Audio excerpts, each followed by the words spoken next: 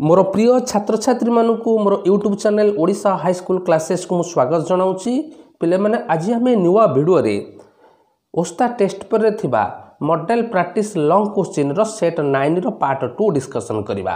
Part ୱାନ୍ରେ ଆମେ ଏକ ନମ୍ବରର ଏର ଦୁଇଟି ବିଟ୍ ଏକ ନମ୍ବର ବିର ଦୁଇଟି ବିଟ୍ ଏବଂ ଦୁଇ ନମ୍ବର ଏର ଦୁଇଟି ବିଟ୍ ଡିସ୍କସନ୍ କରିଥିଲେ।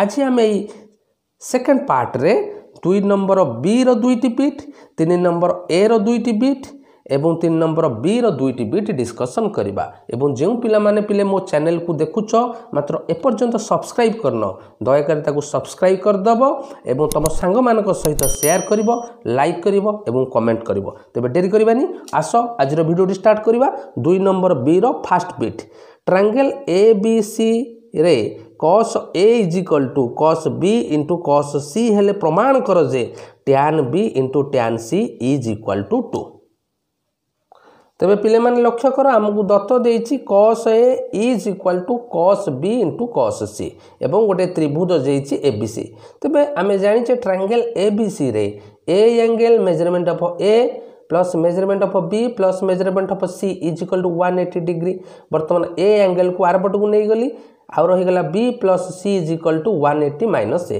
ବର୍ତ୍ତମାନ ଉଭୟ ପାର୍ଶ୍ୱରେ ଆମେ କସ୍ର ଫଙ୍କସନ୍ ନେବା।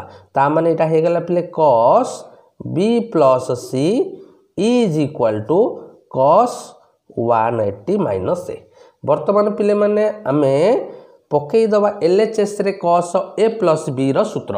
କସ୍ ଏ ପ୍ଲସ୍ ବିର ସୂତ୍ର କ'ଣ ନା cos A into cos B minus sine A into sine B তেমন এটা কম হয়ে না cos B into cos C minus sine A sine B into sine C is equal to পিলে cos one eighty minus a ଏହା କେଉଁ ପାଦରେ ରହିବ ନା ଦ୍ୱିତୀୟ ପାଦରେ ରହିବ ଦ୍ୱିତୀୟ ପାଦରେ ଆମେ ଜାଣିଛେ ସାଇନ୍ କି କୋଶେକ କ'ଣ ପଜିଟିଭ୍ ତେଣୁ କସ୍ଟା ହେବ ନେଗେଟିଭ୍ ଏବଂ ଯେହେତୁ ୱାନ୍ ଏଇଟି ଅଛି ତେଣୁ ସେଇ ଫଙ୍କସନ୍ ଆସିବ।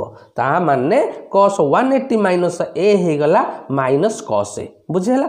ବର୍ତ୍ତମାନ ଏଲ୍ଏଚ୍ଏସ୍ ଏବଂ ଆର୍ଏଚ୍ଏସ୍କୁ ଆମେ ଭାଗ କରିବା। କାହା ଦ୍ୱାରା ଭାଗ କରିବା? ନା ଉଭୟ ପାର୍ଶ୍ୱକୁ cos B into cos C ଦ୍ୱାରା ଭାଗ କରାଯାଉ।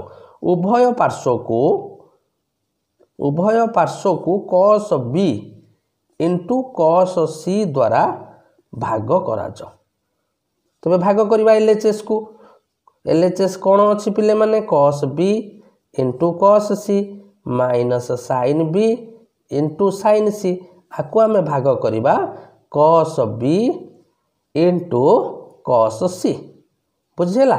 ସେହିପରି ଆର୍ ଏଚ୍ ଏସ୍ରେ ଯେଉଁ ରହିଛି ମାଇନସ୍ କସ୍ ଏ ଆକୁ ମଧ୍ୟ ଆମେ ଭାଗ କରିବା cos B into cos C ବୁଝିହେଲା ପିଲେ ବର୍ତ୍ତମାନ ଲକ୍ଷ୍ୟ କର ଏଲ୍ ଏଚ୍ ଏସ୍ରେ ଯେଉଁ ରହିଛି ଆମର cos B into cos C minus sine B into sine C by cos B into cos C ତାକୁ ଅଲଗା ଅଲଗା କରିଦେବା। ଅର୍ଥାତ୍ cos B into cos C by cos B into cos C minus sine B into sine C by cos B into cos C ତେଣୁ ଲକ୍ଷ୍ୟ କର ପିଲେ cos B into cos C by cos B into cos C ଏଠି minus ଚିହ୍ନ ଦେଇଦେବା। Sine B into sine C by cos B into cos C is equal to minus cos A by ପିଲେ ଯେଉଁ cos B into cos ସିର value କେତେ ଦେଇଛି?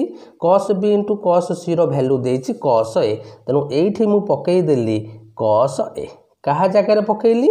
ନା cos B into cos C ଜାଗାରେ ପକାଇଦେଲି କସ୍ ଏ ତେବେ ଲକ୍ଷ୍ୟ କର ପିଲେ ଏଠି କସ୍ ବିକୁ କସ୍ ବି କ୍ୟାନସଲ୍ କସ୍ ସିକୁ କସ୍ ସି କ୍ୟାନସଲ୍ ଆଉ କେତେ ରହିଲା ତେବେ? ସବୁ କଟିଗଲା ପରେ ୱାନ୍ ମାଇନସ୍ ଏଠି ଲକ୍ଷ୍ୟ କର ଏଠି କ'ଣ ହେଲା?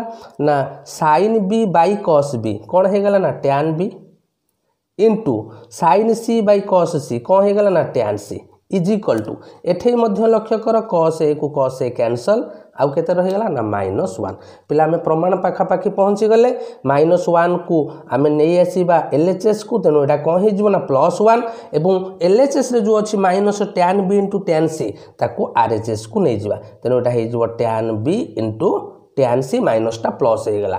ତେବେ ଲକ୍ଷ୍ୟ କର ଆମେ ପ୍ରମାଣ ପାଇଗଲେ ପିଲେ tan B into tan C one one ମିଶାଇ ଦେଲେ ଟୁ ପ୍ରୁଭ୍ଡ ପିଲେ ବୁଝିପାରିଲ?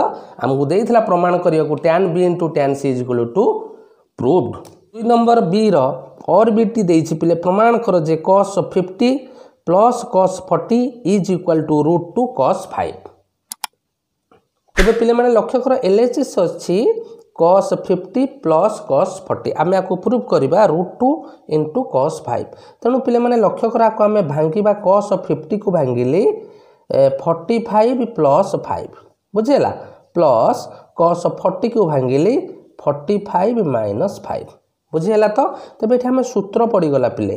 Cos A plus B plus cos A minus B ଏହାର ସୂତ୍ର କ'ଣ ପିଲେ ନା two cos A into cos B ଅର୍ଥାତ୍ two into cos A cos A ମାନେ ଏଠି ପଇଁଚାଳିଶ।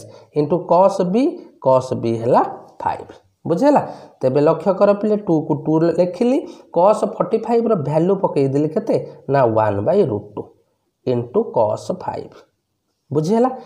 This is equal to two ମୁଁ ଲଭରେ ରୁଟ୍ ଟୁ ଗଣିଲି ଗୁଣିଲି ଏବଂ ହରରେ ମଧ୍ୟ ରୁଟ୍ ଟୁ ଗୁଣିଲି ଇଣ୍ଟୁ କସ୍ ଫାଇଭ ତେବେ ଏଇଟା କ'ଣ ହେଇଗଲା ପିଲେ ନା two into root two by root Tuku root ଟୁରେ ପ୍ରଡ଼କ୍ଟ କଲେ ହେଇଗଲା ଟୁ କସ୍ ଫାଇଭ ତେବେ ଲକ୍ଷ୍ୟ କର ଏଠି ଟୁକୁ ଟୁ କ୍ୟାନସଲ୍ ତେବେ ଆମେ କେତେ ପାଇଗଲେ ନା ରୁଟ୍ ଟୁ କସ୍ ଫାଇଭ ଆମକୁ ଏହା ପ୍ରମାଣ କରିବାକୁ ଥିଲା ପ୍ରମାଣ କର ରୁଟ୍ ଟୁ କସ୍ ଫାଇଭ ତେଣୁ ଆମର ପ୍ରମାଣ କରିଦେଲେ root two cos five proved ବୁଝିହେଲା ପିଲେ ବହୁତ ସହଜ। ତିନି ନମ୍ବର ଏ କୁ ଯିବା ପିଲେ ତିନି ନମ୍ବର ଏର ପ୍ରଶ୍ନ ଅଛି ପ୍ରମାଣ କର ଯେ ଗୋଟିଏ ବୃତ୍ତର ଦୁଇଟି ସର୍ବସମ ଯା କେନ୍ଦ୍ରଠାରେ ଯେଉଁ କୋଣ ଉତ୍ପନ୍ନ କରନ୍ତି ସେମାନେ ସର୍ବସମ। ଏହା ହେଉଛି ପିଲା ଆମର ଉପବାଦ୍ୟ। ନ ଏହା ଗୋଟିଏ ସହଜ ଉପବାଦ୍ୟ। ଚାଲ ଏହାକୁ ପ୍ରମାଣ କରିବା। ତେବେ ପିଲାମାନେ ଲକ୍ଷ୍ୟ କର ସାମାନ୍ୟ କଥନ ଦେଇଛି ଗୋଟିଏ ବୃତ୍ତରେ ଦୁଇଟି ସର୍ବସମ ଯା କେନ୍ଦ୍ରଠାରେ ଯେଉଁ କୋଣ ଉତ୍ପନ୍ନ କରନ୍ତି ସେମାନେ ସର୍ବସମ। ତେବେ ଲକ୍ଷ୍ୟ କର ଦତ୍ତ ଚିତ୍ରକୁ ଲକ୍ଷ୍ୟ କର ଏସ୍ ବୃତ୍ତରେ ଓ ହେଉଛି କେନ୍ଦ୍ରବିନ୍ଦୁ ଏବଂ ଏ ବି ଯା ସର୍ବସମ ସିଡି ଯା ଏବଂ ଏ ବି ଯା ଏବଂ ସିଡି ଯା ବୃତ୍ତର କେନ୍ଦ୍ର ସହ ଯଥାକ୍ରମେ କେଉଁ କୋଣ ସୃଷ୍ଟି କରୁଛି? ଏ ଓ ବି ଏବଂ ସି ଓ ଡି। ଅର୍ଥାତ୍ ଏ ବି ଯା ବୃତ୍ତର କେନ୍ଦ୍ର ସହ ଏ ଓ ବି କୋଣ ସୃଷ୍ଟି କରୁଛି? ସି ଡି ଯା ବୃତ୍ତର କେନ୍ଦ୍ର ସହ ସି ଓ ଡି କୋଣ ସୃଷ୍ଟି କରୁଛି। ତେବେ ଆମେ କ'ଣ ପ୍ରମାଣ କରିବା? ନା ସେ ଯେଉଁ କୋଣ ଦୁଇଟି ସୃଷ୍ଟି କରୁଛନ୍ତି କେନ୍ଦ୍ରବିନ୍ଦୁ ସହ ସେ କୋଣ ଦୁଇଟି ସର୍ବସମ। ଅର୍ଥାତ୍ measurement of A O B ସର୍ବସମ measurement of C O D ଆମକୁ ଏହା ପ୍ରୁଭ୍ କରିବାକୁ ପଡ଼ିବ। ତାପରେ ଆମେ ପ୍ରମାଣ ସେକ୍ସନକୁ ଯିବା ପିଲେ ବହୁତ ସହଜ। ପିଲେ ଲକ୍ଷ୍ୟ କରି ଏଠି ଆମେ ଦୁଇଟି ତ୍ରିଭୁଜ ପାଉଛେ। କେଉଁ ତ୍ରିଭୁଜ ପିଲେ? ଟ୍ରାଙ୍ଗେଲ୍ ଏ ଓ ବି ଓ ଟ୍ରାଙ୍ଗେଲ୍ ସି ଓ ଡି ଦ୍ୱୟ ମଧ୍ୟରେ। ବୁଝିହେଲା? ଏ ଦୁଇଟାକ ତ୍ରିଭୁଜ ମଧ୍ୟରେ ପିଲେ କମ୍ପେୟାର କରିବା। କ'ଣ କମ୍ପେୟାର ଅଛି କ'ଣ ଲକ୍ଷ୍ୟ କର ପିଲେ? O A is equal to O C O ଏର ଦୈର୍ଘ୍ୟ ଯାହା ଓ ସିର ଦୈର୍ଘ୍ୟ ସେୟା ଠିକ୍ ସେହିପରି ଓ ବିର ଦୈର୍ଘ୍ୟ ସେୟା ଯାହା ଓ ଡିର ଦୈର୍ଘ୍ୟ ସେୟା କାହିଁକି ଓ ଏଟା ଓ ସି ସଙ୍ଗେ ସମାନ ହେଲା ଓ ବିଟା ଓଡ଼ି ଓ ଡି ସଙ୍ଗେ ସମାନ ହେଲା ଯେହେତୁ ଏକା ବୃତ୍ତର ବ୍ୟାସାର୍ଦ୍ଧ ଅର୍ଥାତ୍ ଗୋଟିଏ ବୃତ୍ତର ବ୍ୟାସାର୍ଦ୍ଧ ଯେହେତୁ ଏକା ବୃତ୍ତର ବ୍ୟାସାର୍ଦ୍ଧ। ଆମେ ଜାଣିଛେ ପିଲେ ବେସିକ୍ କନସେପ୍ଟ ଗୋଟେ ବୃତ୍ତରେ ଅସଂଖ୍ୟ ବ୍ୟାସାର୍ଦ୍ଧ ଅଙ୍କନ କରାଯାଇପାରିବ ଏବଂ ପ୍ରତ୍ୟେକ ବ୍ୟାସାର୍ଦ୍ଧର ଦୈର୍ଘ୍ୟ ସମାନ ହେବ। ଯେହେତୁ ଏସ୍ ବୃତ୍ତର ଏଗୁଡ଼ିକ ସବୁ ବ୍ୟାସାର୍ଦ୍ଧ ତେଣୁ ଏମାନଙ୍କର ଦୈର୍ଘ୍ୟ ସମାନ। ଆଉ ଗୋଟେ ସୂଚନା ଦେଇଛି ଆମକୁ ପିଲେ ଏ ବି ଜିଆଟା ସି ଡି ଜିଆ ସଙ୍ଗେ ସମାନ। ଏହା ଆମକୁ ଦତ୍ତ ଦେଇଛି। ତେବେ ଲକ୍ଷ୍ୟ କର ପିଲେ ଏ ବି ସି ତ୍ରିଭୁଜର ତିନୋଟି ବାହୁ ସଙ୍ଗେ ତେବେ ଲକ୍ଷ୍ୟ କର ପିଲେ ଏ ଓ ବି ତ୍ରିଭୁଜର ତିନୋଟି ବାହୁ ସଙ୍ଗେ ସି ଓ ଡି ତ୍ରିଭୁଜର ତିନୋଟି ବାହୁର ଦୈର୍ଘ୍ୟ ସମାନ ହେଲା। ତେବେ ଆମେ ଏଠି ପାଇଗଲେ ଟ୍ରାଙ୍ଗେଲ୍ ଏ ଓ ବି ସର୍ବସମ ଟ୍ରାଙ୍ଗେଲ୍ ସି ଓ ଡି। କେଉଁ କଣ୍ଡିସନ୍ ଅନୁସାରେ ହେଲା ପିଲେ? ନା ବା ବା ବା ସର୍ବସମତା। ବା ବା ବା ସର୍ବସମତା। ଆମେ ଜାଣିଛେ ନବମ ଶ୍ରେଣୀରୁ ଯେ ଗୋଟିଏ ତ୍ରିଭୁଜର ତିନୋଟି ବାହୁ ସଙ୍ଗେ ଆଉ ଗୋଟିଏ ତ୍ରିଭୁଜର ତିନୋଟି ବାହୁ ଯଦି ସମାନ ହୁଏ ତେବେ ତ୍ରିଭୁଜ ଦ୍ୱୟ ସର୍ବସମ। ଆଚ୍ଛା ଯଦି ତ୍ରିଭୁଜ ଦ୍ୱୟ ସର୍ବସମ ହେଲେ ତା'ର ଅନୁରୂପ ବାହୁ ଆଉ ଅନୁରୂପ କୋଣ ଗୁଡ଼ିକ ସମାନ ହେବ। ତେବେ ଏ ଓ ବିର ଅନୁରୂପ କୋଣ କିଏ ହେବ ପିଲେ? ନା C O D. This implies measurement of A O B is equal to measurement of C O D proved ବହୁତ ସହଜ ଉପବାଦ୍ୟ ପିଲେ। ତିନି ନମ୍ବର ଅର୍ ବିଟ୍କୁ ଯିବା ପିଲେ ଏହା ଗୋଟିଏ ଡିଡକ୍ସନ୍ ଲକ୍ଷ୍ୟ କର ଗୋଟିଏ ବୃତ୍ତର କେନ୍ଦ୍ର ଓ ଏବଂ ପି ଏହାର ଏକ ବହିସ୍ଥ ବିନ୍ଦୁ ପିଟି ସ୍ପର୍ଶକ ରଶ୍ମିର ସ୍ପର୍ଶ ବିନ୍ଦୁ ଟି ଓ ପିର ମଧ୍ୟବିନ୍ଦୁ କ୍ୟୁ ବୃତ୍ତ ଉପରିସ୍ଥ। ତେବେ ପ୍ରମାଣ କର Q T is equal to Q P ତେବେ ପିଲାମାନେ ଲକ୍ଷ୍ୟ କର ଚିତ୍ରକୁ ଏବଂ ଚିତ୍ର ଅନୁସାରେ ଦତ୍ତକୁ ମଧ୍ୟ ଲକ୍ଷ୍ୟ କର। ଏସ ବୃତ୍ତରେ ଓ ହେଉଛି କେନ୍ଦ୍ରବିନ୍ଦୁ ଏବଂ ପି ହେଉଛି ବୃତ୍ତର ଏକ ବହିସ୍ଥ ବିନ୍ଦୁ ଏବଂ ପିଟି ଏକ ସ୍ପର୍ଶକ ବୁଝିହେଲା ପିଟି ଏକ ସ୍ପର୍ଶକ ଏବଂ ବୃତ୍ତକୁ ଏହା ଟି ବିନ୍ଦୁରେ ସ୍ପର୍ଶ କରୁଛି ବୁଝିହେଲା ଏବଂ ଓ ଏବଂ ପିର ମଧ୍ୟବିନ୍ଦୁ ପିଲେ କ୍ୟୁ ଏବଂ ଏହା ବୃତ୍ତ ଉପରିସ୍ଥ ଅର୍ଥାତ୍ କ୍ୟୁ ବିନ୍ଦୁଟା ବୃତ୍ତ ଉପରେ ରହିବ ଏବଂ କ୍ୟୁ ବିନ୍ଦୁଟା କାହାର ମଧ୍ୟବିନ୍ଦୁ ହେବ? ନା ଓପିର ମଧ୍ୟବିନ୍ଦୁ। ଆମେ କ'ଣ ପ୍ରମାଣ କରିବା? ପ୍ରମାଣ କରିବା କ୍ୟୁଟି ବୁଝିହେଲା? ତାମାନେ ଏଇ ଓ ପିର ମଧ୍ୟବିନ୍ଦୁ କ୍ୟୁ ଏବଂ ଏ ଟିର ସଂଯୋଜକ ରେଖାଖଣ୍ଡ କ୍ୟୁ ଟି କାହା ସଙ୍ଗେ ସମାନ ନା କ୍ୟୁ ପିର ଦୈର୍ଘ୍ୟ ସଙ୍ଗେ ସମାନ? ଲକ୍ଷ୍ୟ କର ଓ ଟିଟା ଓ ଟିଟା କାହା ପ୍ରତି ଲମ୍ବ ହେବ? ନା ପିଟି ପ୍ରତି ଲମ୍ବ ହେବ। ବୁଝିହେଲା ନା ନାହିଁ ଆମେ ଉପବାଦ୍ୟ ବାହାରରୁ ଜାଣିଛେ ଏକ ସ୍ପର୍ଶ ବିନ୍ଦୁଗାମୀ ବ୍ୟାସାର୍ଦ୍ଧ ସ୍ପର୍ଶକ ପ୍ରତି ଲମ୍ବ ତା ମାନେ ଓ ଟିଟା ପିଟି ପ୍ରତି ଲମ୍ବ ହେବ। ଦିସ୍ ଇମ୍ପ୍ଲାଇଜ୍ ଦ୍ୟାଟ୍ ଯଦି ସେଇଟା ଲମ୍ବ ହେବ ଓ ଟି ପି ଗୋଟିଏ କ'ଣ ହେବ? ଓ ଟି ପି ଏକ ସମକୋଣୀ ତ୍ରିଭୁଜ। ବୁଝିହେଲା? ଯଦି ଓ ଟି ପି ଏକ ସମକୋଣୀ ତ୍ରିଭୁଜ ହେଲା ତେବେ ଆମେ ବେଶୀ କନସେପ୍ଟ ଜାଣିଛେ। ସମକୋଣର ସମ୍ମୁଖୀନ ବାହୁକୁ କର୍ଣ୍ଣ କହିବା। ତେଣୁ ଓ ପି ହେଇଗଲା କର୍ଣ୍ଣ। ତ୍ରିଭୁଜର କର୍ଣ୍ଣ କିଏ ହେଇଗଲା? ଓ ପି ଆଚ୍ଛା ଆମର ଦତ୍ତ ଦେଇଛି ଓ ପିର ମଧ୍ୟବିନ୍ଦୁ କିଏ? କ୍ୟୁ ତା ମାନେ ଆମେ ଏଠୁ ପାଇଗଲେ O Q is equal to Q P ଆକୁ ନେଇଯିବା ସମୀକରଣ ଆଇ। ଯେହେତୁ ଦତ୍ତ ଦେଇଛି କ୍ୟୁ ବିନ୍ଦୁଟା ଓପିର ମଧ୍ୟବିନ୍ଦୁ ତେଣୁ ଆମେ ପାଇଗଲେ ଯେ ଓ କ୍ୟୁର ଦୈର୍ଘ୍ୟ ଯାହା କ୍ୟୁ ପିର ଦୈର୍ଘ୍ୟ ସେୟା। ବୁଝିହେଲା? ତେବେ ଏଇ ବେସିକ୍ କନସେପ୍ଟକୁ ଆମେ ମନେ ରଖିବାକୁ ପଡ଼ିବ ଯେ ଏକ ସମକୋଣୀ ତ୍ରିଭୁଜର କର୍ଣ୍ଣର ମଧ୍ୟବିନ୍ଦୁ ଓ ସମକୋଣର ଶୀର୍ଷ ବିନ୍ଦୁକୁ ସଂଯୋଗ କରୁଥିବା ରେଖାଖଣ୍ଡ ସମକୋଣୀ ତ୍ରିଭୁଜର କର୍ଣ୍ଣର ଅର୍ଦ୍ଧେକ ସହ ସମାନ। ତା ମାନେ ସମକୋଣୀ ତ୍ରିଭୁଜର କର୍ଣ୍ଣର ମଧ୍ୟବିନ୍ଦୁ କ୍ୟୁ ଏବଂ ସମକୋଣର ଶୀର୍ଷବିନ୍ଦୁ ହେଲା ଟି ତେଣୁ ସଂଯୋଗ କରୁଥିବା ରେଖାଖଣ୍ଡ ହେଲା କ୍ୟୁ ଟି ତେଣୁ କ୍ୟୁ ଟିର ଦୈର୍ଘ୍ୟଟା କାହାର ଦୈର୍ଘ୍ୟ ସହ ସମାନ ହେବ? କର୍ଣ୍ଣର ଅର୍ଦ୍ଧେକ।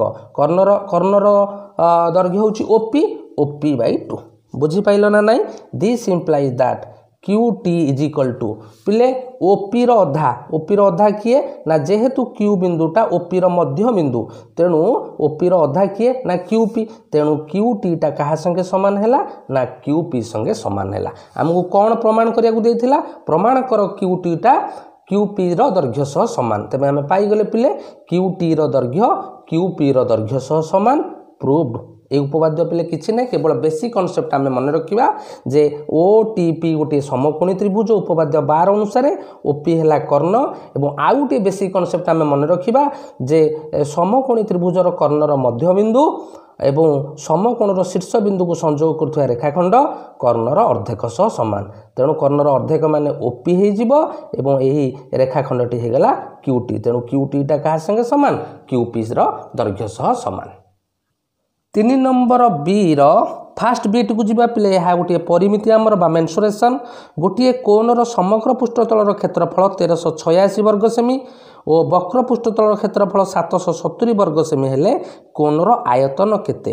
ତେବେ ପିଲେ ଦତ୍ତ ଦେଇଛି କୋଣର ବକ୍ର ପୃଷ୍ଠତଳର କ୍ଷେତ୍ରଫଳ ସାତଶହ ସତୁରି ବର୍ଗ ସେମି ଆମେ ଜାଣିଛେ କୋଣର ବକ୍ର ପୃଷ୍ଠତଳର କ୍ଷେତ୍ରଫଳ ସୂତ୍ର ହେଲା ପାଏ ଆର୍ ଏଲ୍ ବୁଝିଗଲା ଇଜ୍ ଇକ୍ୱାଲ୍ ଟୁ ସାତଶହ ସତୁରି ବର୍ଗ ସେମି। ପୁନଶ୍ଚ ଦତ୍ତ ଦେଇଛି କୋନ୍ର ସମଗ୍ର ପୃଷ୍ଠତଳର କ୍ଷେତ୍ରଫଳ ତେରଶହ ଛୟାଅଶୀ ବର୍ଗ ସେମି। ପିଲେମାନେ କୋନ୍ର ସମଗ୍ର ପୃଷ୍ଠତଳର କ୍ଷେତ୍ରଫଳ ସୂତ୍ର କ'ଣ? ନା pi R whole into R plus L is equal to ତେରଶହ ଛୟାଅଶୀ ବର୍ଗ ସେମି।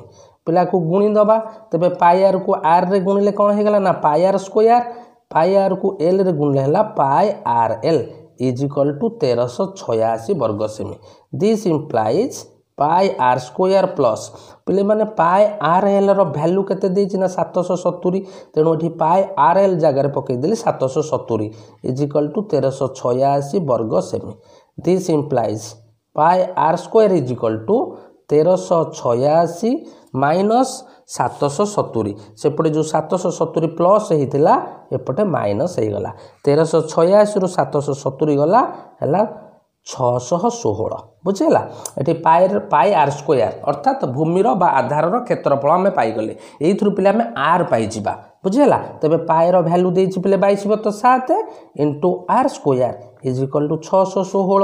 ଦିସ୍ ଇମ୍ପ୍ଲାଇଜ୍ ଆର୍ ସ୍କୋୟାର ହେଲା ଛଅଶହ ଷୋହଳ ଇଣ୍ଟୁ ବାଇଶ ବତ ସାତ ଆର୍ ଏଚ୍ ଏସ୍ରୁ ଚାଲିଗଲା ଓଲଟିଗଲା ସାତ ବିଭକ୍ତ ବାଇଶ। ବୁଝିଲା ଆକୁ ଯଦି ଆମେ ଲଘିଷ୍ଠ କରିବା ଏଗାରରେ କାଟିବା ଏଗାର ଦୁଗୁଣେ ବାଇଶ ଆକୁ ଏଗାରରେ କାଟିଲେ ଏଇଟା ହେଇଗଲା ଛପନ। ବୁଝିଲା ପୁଣି ଦୁଇକୁ ଛପନରେ କାଟିଲେ ହେଇଗଲା ଅଠେଇଶ। ତାମାନେ ଏଇଟା କେତେ ହେଇଗଲା? ନା ଅଠେଇଶ ଗୁଣନ ସାତ। ବୁଝିହେଲା? ତେବେ what is the value of R ନା ଅଠେଇଶ ଗୁଣନ ସାତର ରୁଟ୍ ଓଭର ପିଲାମାନେ ଅଠେଇଶକୁ ସାତରେ ଗୁଣିବା ଦରକାର ନାହିଁ। ଅଠେଇଶର ଆମର ଗୁଣନୀୟକୁ ନେଇଯା। ଏଟାକୁ ଲେଖିବି ମୁଁ ଚାରି ଗୁଣନ ସାତ। ଅଠେଇଶ ଜାଗାରେ ଲେଖିଲି ଚାରି ଗୁଣନ ସାତ ଗୁଣନ ସାତ। ବୁଝିହେଲା? ତେବେ ଲକ୍ଷ୍ୟ କର ପିଲେ ଚାରିର ରୁଟ୍ ଓଭର ହେଇଯିବ ଦୁଇ ଏବଂ ଦୁଇଟା ସାତରୁ ଗୋଟେ ସାତ ଗଲା। ସାତ ଦୁଗୁଣେ କେତେ? ନା ଚଉଦ ସେମି। ତେଣୁ ଆମେ କୋନର ଭୂମିର ବ୍ୟାସାର୍ଦ୍ଧ ପାଇଗଲେ ଆର୍ ଇଜିକାଲ୍ ଟୁ ଚଉଦ ସେମି। ବୁଝିହେଲା? ତାପରେ ଆମେ କ'ଣ କରିବା? ନା ପାଇ ଆର୍ ଏଲ୍ କେତେ ଦେଇଛି ପିଲେ? ନା ପାଇ ଆର୍ ଏଲ୍ ଦେଇଛି ସାତଶହ ସତୁରି ବର୍ଗ ସେମି।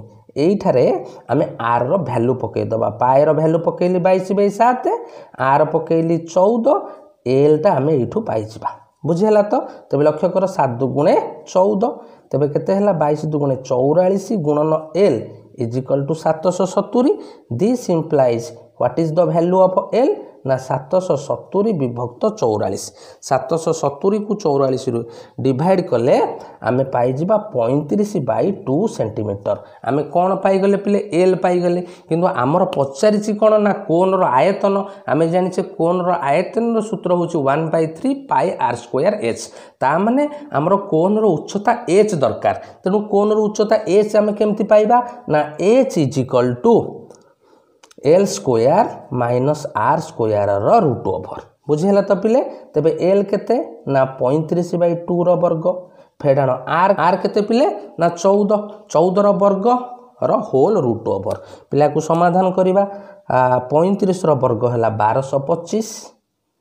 ବିଭକ୍ତ ଦୁଇର ବର୍ଗ ହେଲା ଚାରି। ଚଉଦର ବର୍ଗ ହେଲା ଶହେ ଛୟାନବେ।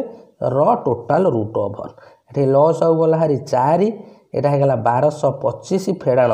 ଶହେ ଛୟାନବେକୁ ଚାରିରେ ପ୍ରଡ଼କ୍ଟ କଲେ ହେଲା ସାତଶହ ଚଉରାଅଶୀର total root over is equal ବାରଶହ ପଚିଶରୁ ସାତଶହ ଚଉରାଅଶୀ ଗଲେ ହେଲା ଚାରିଶହ ଏକଚାଳିଶ ବିଭକ୍ତ ଚାରିର ରୁଟ୍ ଓଭର ପିଲେ ଚାରିଶହ ଏକଚାଳିଶର ରୁଟ୍ ଓଭର ହେଲା ଏକୋଇଶ ଏବଂ ଚାରିର ରୁଟ୍ ଓଭର ହେଲା ଦୁଇ। ତେବେ ଆମେ ପାଇଗଲେ ପିଲେ ଏଚ୍ ପାଇଗଲେ। ତେବେ ଆୟତନ କୋନ୍ର ଆୟତନ ଏବେ ବାହାର କରିଦେବା। ଆର୍ ପାଇଗଲେ ଏଲ୍ ପାଇଗଲେ ଏଚ୍ ପାଇଗଲେ। ତେଣୁ କୋନ୍ର ଆୟତନର ସୂତ୍ର ହେଲା one by three pi R square H is equal to one by three into ପାଏର value ହେଲା ବାଇଶ ବତ ସାତ। ଆର୍ ସ୍କୋୟାର ମାନେ ଚଉଦ ଇଣ୍ଟୁ ଚଉଦ ଏଲ୍ ହେଲା ଏକୋଇଶ ବାଇ ଟୁ ଆକୁ ପିଲା ଆମେ ସମାଧାନ କରିବା। ଦେଖ କ'ଣ କ'ଣ କଟୁଛି? ପିଲେ ଏଠି ଦେଖ ତିନିକୁ ଏକୋଇଶରେ କାଟିଲି ତିନି ସତା ଏକୋଇଶ ଏବଂ ସାତ ଦୁଗୁଣେ ଚଉଦ ଦୁଇକୁ ଦୁଇ କଟିଗଲା। ଆଉ କିଏ ରହିଲା ପିଲେ? ଲକ୍ଷ୍ୟ କର ଏଠି ରହିଲା ବାଇଶ ଗୁଣନ ଚଉଦ ଗୁଣନ ସାତ। ବାଇଶ ଗୁଣନ ଚଉଦ ଗୁଣନ ସାତ ସମାନେ ଦୁଇ ହଜାର ଏକଶହ ଛପନ ଘନ ସେଣ୍ଟିମିଟର। ଅତଏବ କୋନ୍ର ଆୟତନ ହେଲା ଦୁଇ ହଜାର ଏକଶହ ଛପନ ଘନ ସେଣ୍ଟିମିଟର।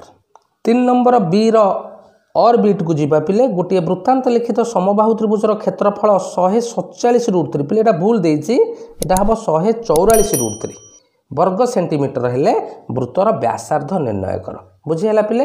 ଦେଖ ପିଲେ ଏହାକୁ ମୁଁ କିପରି ସମାଧାନ କରୁଛି ତେବେ ପିଲେ ଲକ୍ଷ୍ୟ କର ଏ ବି ସି ଏକ ବୃତ୍ତାନ୍ତ ଲିଖିତ ସମବାହୁ ତ୍ରିଭୁଜ ଏହାର କ୍ଷେତ୍ରଫଳ ଦେଇଛି ଶହେ ଚଉରାଳିଶ ରୁଟ୍ ଥ୍ରୀ ବର୍ଗ ସେଣ୍ଟିମିଟର। ଆମେ ଜାଣିଛେ ସମବାହୁ ତ୍ରିଭୁଜର କ୍ଷେତ୍ରଫଳର ସୂତ୍ର root three by four into ବାହୁର ବର୍ଗ ଇଜ୍ ଇକ୍ୱାଲ୍ ଟୁ ଶହେ ଚଉରାଳିଶ ରୁଟ୍ ଥ୍ରୀ ବର୍ଗ ସେଣ୍ଟିମିଟର ତେବେ ଲକ୍ଷ୍ୟ କର ପିଲେ ରୁଟ୍ ଥ୍ରୀକୁ ରୁଟ୍ ଥ୍ରୀ କ୍ୟାନସଲ୍ଡ ପିଲେ ରୁଟ୍ ଥ୍ରୀ କି ରୁଟ୍ ଥ୍ରୀ କ୍ୟାନସଲ୍ ହେଇଗଲା। ତେବେ ବାହୁର ବର୍ଗ ଇଜ୍ ଇକ୍ୱାଲ୍ ଟୁ ଶହେ ଚଉରାଳିଶ ଗୁଣନ ଚାରି। ଏପଟେ ଚାରିଟା ହରଣ ହେଇଥିଲା ଏପଟେ ଗୁଣନ ହେଇଗଲା। ତେବେ ବାହୁ ପିଲେ ଆମେ ପାଇଯିବା। ସମବାହୁ ତ୍ରିଭୁଜର ବାହୁ କେତେ? ନା ଶହେ ଚଉରାଳିଶ ଗୁଣନ ଚାରିର ରୁଟ୍ ଓଭର ପିଲାମାନେ ଶହେ ଚଉରାଳିଶର ରୁଟ୍ ଓଭର ହେଲା ବାର ଏବଂ ଚାରିର ରୁଟ୍ ଓଭର ହେଲା ଦୁଇ। ସମାନେ ଚବିଶ ସେଣ୍ଟିମିଟର।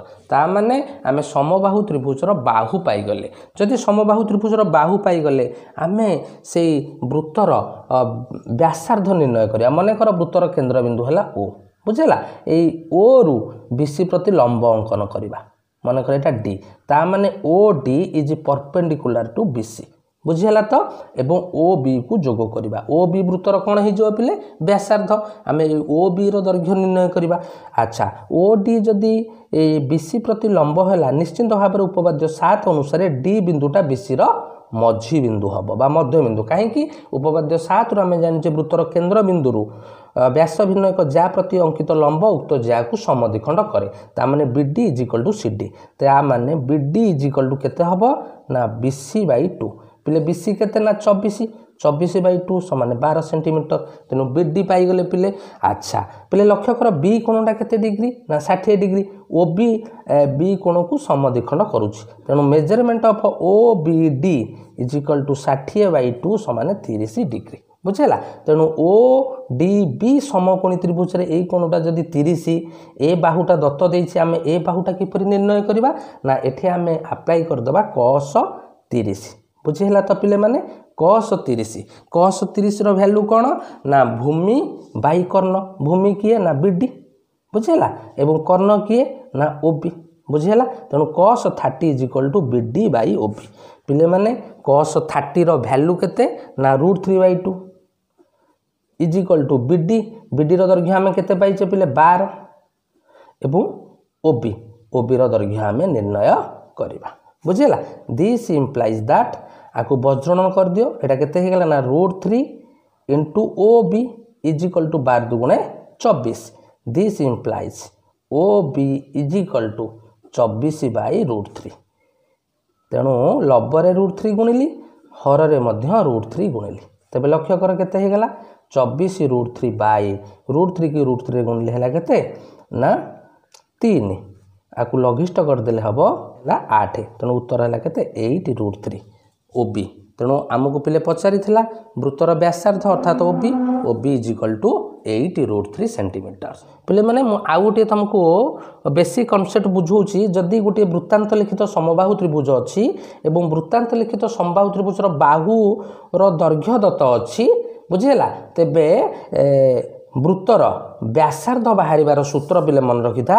ବ୍ୟାସାର୍ଦ୍ଧ ବାହାରିବାର ସୂତ୍ର ହେଉଛି ବାହୁ ବିଭକ୍ତ ରୁଟ୍ ଥ୍ରୀ এটা হল বেসিক কনসেপ্ট মনে রখিতা যে সমবাহু ত্রিভুজর বাহুকু রুট থ্রিরে যদি ভাগ করা যা হব, তাহা হব উক্ত বৃত্তর ব্যাসার্ধ। বুঝিগলা তো পিলে এ গোটিয়ে বেসিক কনসেপ্ট আকু মনে রখিতা সিধাসলখ পকাইদেবা তেমন বাহুটা যদি চবিশ হল চবিশ বাই রুট থ্রি তেমন চবিশ বাই রুট থ্রি কেতে হল না এইট রুট থ্রি বুঝিগলা তো পিলে মানে